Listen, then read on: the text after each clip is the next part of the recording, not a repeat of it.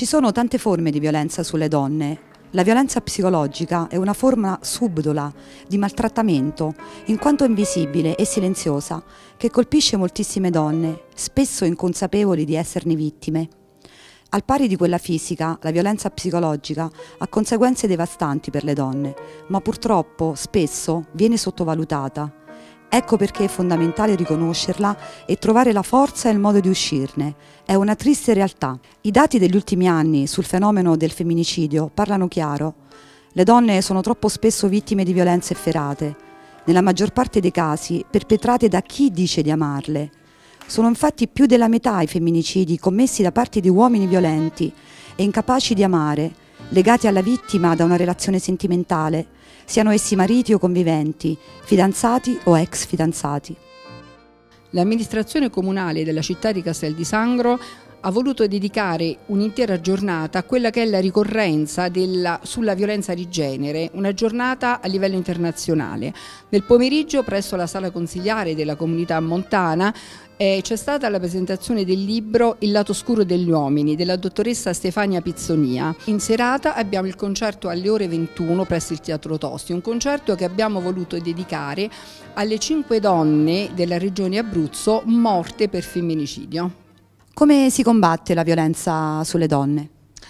Combattere la violenza è mm, una necessità, visto che questo fenomeno sta diventando un fenomeno sociale di eh, grande rilevanza. Si può contrastare la violenza soltanto attraverso la prevenzione. È una parola che conosciamo poco anche per altre situazioni.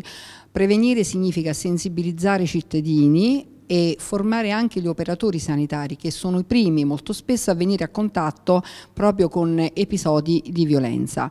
Possiamo farcela tutti insieme, le istituzioni sono presenti, a Castel di Sangue abbiamo lo sportello e la libellula proprio per accogliere come primo approccio le donne vittime appunto di, di questi episodi. Per noi il lavoro non consiste soltanto nella presa in carico delle donne e dei minori vittime di violenza nel momento in cui c'è il problema, ma è molto importante avviare quelle azioni di prevenzione che in qualche modo ci permettono di fare un lavoro con le nuove generazioni. Eh, un lavoro che vada a porre l'attenzione sull'uguaglianza di genere e sull'educazione alla diversità.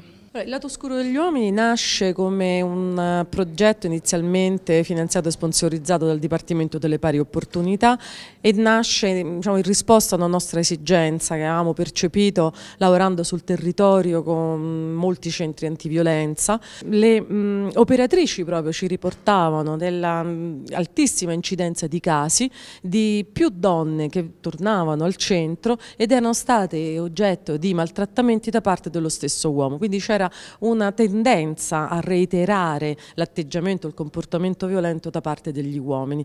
Quindi questo ci aveva destato una certa curiosità anche e soprattutto perché ci consentiva in qualche modo di ampliare lo sguardo sul tema della violenza, che già in un qualche modo percepivamo come un po' ristretto, limitato soltanto allo mm, sguardo su chi la violenza in prima persona la soffre. Ci, ci sembrava necessario ehm, per ricomporre il quadro complessivo sul tema, sul territorio della violenza, anche mh, mm, ricomprendere anche il problema degli uomini. Un concerto dedicato al mondo femminile. Sì, una bellissima occasione, un grandissimo concerto in questa giornata speciale. Sono lieto io, Francesco Mammola, con il mio trio, con Giulia Mangone e Mariano Antonilli, di dedicare questo concerto all'amore, all'amore e alla figura femminile. Questa sera, in occasione anche dei dieci anni miei di attività, dieci anni fa feci il primo concerto proprio in questo teatro, è bellissimo dedicare questa serata, questo appuntamento, alla figura femminile e alla donna, ma soprattutto all'amore, all'amore verso la figura femminile, che omaggeremo proprio con questo repertorio, un viaggio nel mondo mandolinistico dal 700 al 2000, tutto improntato sulla figura dell'amore.